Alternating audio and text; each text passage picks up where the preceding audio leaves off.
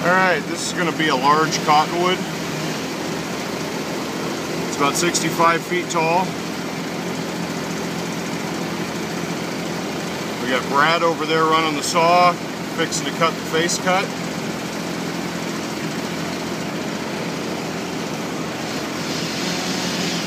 Making himself some room there.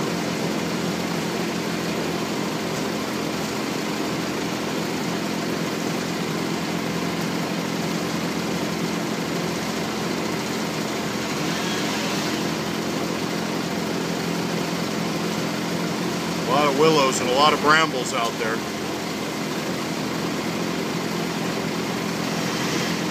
He's going to make his face cut so that it's going to fall right down along beside the edge of that spruce tree right in the, the, to the right of the frame.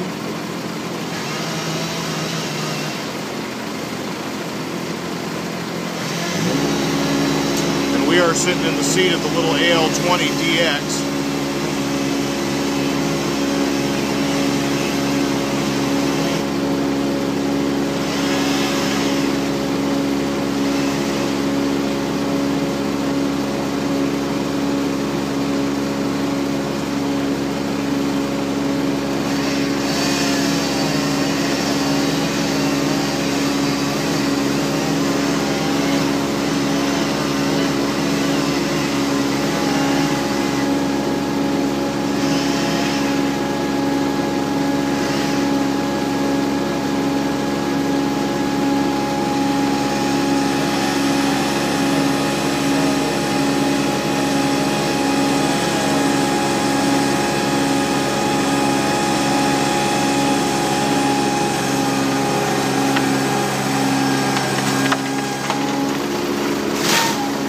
done.